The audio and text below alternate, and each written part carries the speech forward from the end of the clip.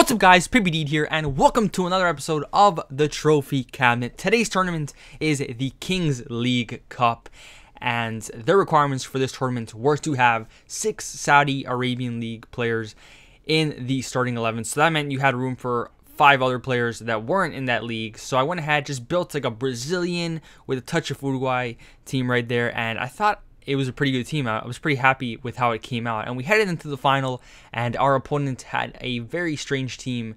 Uh, 63 chemistry, but he did have the requirements in the midfield and on his uh, fullbacks. And then he had some very good players in the strike force and in the defense. So it was a little bit interesting to see this team in the final, but not going to underestimate him because that is what we have done in before. But this episode, I actually want to have like a talk with you guys. Like, I don't want to talk about the gameplay for now because I actually want to tell you guys about the future of the series. So, I thought of this idea, the trophy cabinet, uh, back in FIFA, like at the end of FIFA 15, and I thought it was going to be a great idea because and nobody else really plays the tournaments in FIFA. So I said, you know what? It'd be a quite a good challenge to try out every single tournament and see how we do. Well, I did it this whole year, FIFA 16, and it didn't go as well as I thought it would because, first of all, I don't think that many people watch it as much as the Road to City, and second of all, there's a lot of problems, and I'm going to get into those problems right now. The first problem being time. Now, what I mean by time is the the um, time limit on the tournaments. It's either I've noticed a pattern actually recently. It's two days, two days, three days, and then it goes back to two days. Except those times that EA did those tournaments that were like a week long. But there's not enough time for me because obviously I can't just spend my whole life playing FIFA, which is kind of what I've been doing this whole year because of this series. And it's really, really stressful when it comes to that because there's not enough time to play the tournaments. Maybe I'm just saying that because I'm not good enough, but I just feel like two days, three days for a tournament that you can barely find an opponent in is really bad, but that's only one of the problems. The second problem is the rewards. Now, I don't really care about the rewards because the objective of this series was to fill up the trophy cabinet and nothing more. But the rewards for these tournaments are absolutely terrible.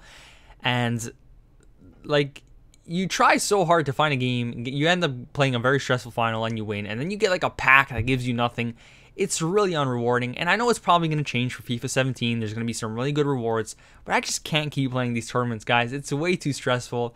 And another reason I don't want to continue this is the requirements. Requirements are obviously very dodgy. This tournament is a great example for that. Why did EA make the tournaments Saudi Arabian League, uh, Saudi Arabian League themed, but then make the requirements only to have six from those that league in the starting 11. Why not just make the full starting 11 from that league? No, it gives you room to bring on players like Neymar, Messi, or not like what? That completely ruins the purpose of the tournament.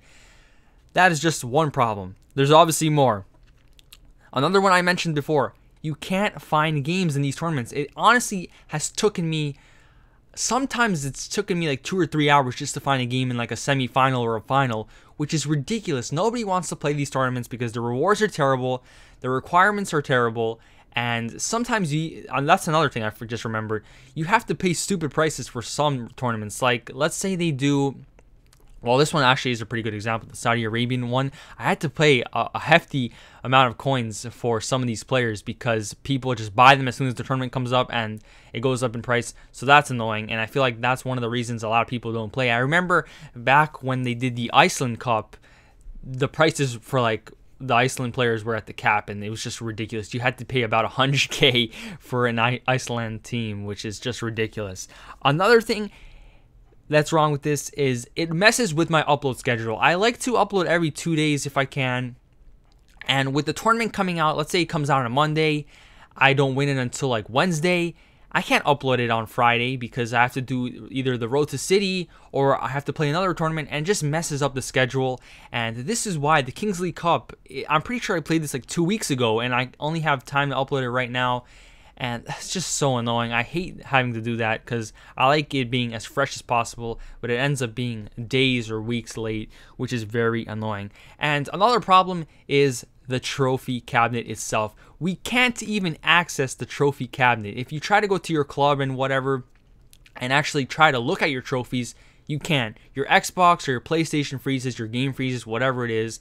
And I've tried multiple times. I just can't seem to access it. I did get to access it early on in the year, and I'm not sure why but now it just doesn't work. And it actually happened in FIFA 15 too. I think I told you guys back when I did the Road to Glory that I couldn't even access the trophy cabinet. So that is very annoying. Like once again, annoying my luck, they're probably gonna fix it for FIFA 17, but it's just so annoying. And then the biggest problem of all is stress. This series, the goal is just to play every tournament. I don't have to win every tournament. I just have to play it.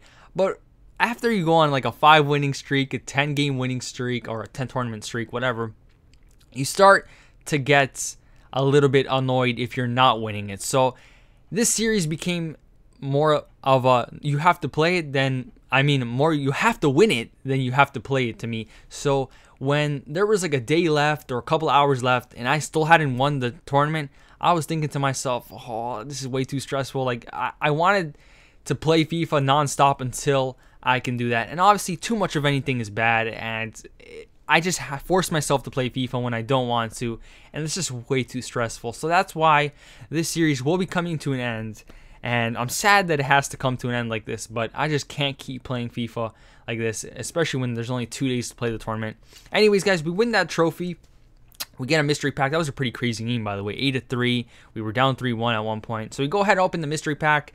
And this isn't the last episode, guys. Don't worry about that. There is actually going to be, I think, three more episodes or four and then that will be the end of that. So anyways, guys, thank you so much for watching. Hopefully you guys understand my reasoning for having to end this uh, the series with even a month left. I just can't continue playing this game. The game is dead. And anyways, guys, that is going to conclude this episode of the Trophy Cabinet. This has been the Kings League Cup. My name is Pipideed, and I'm out.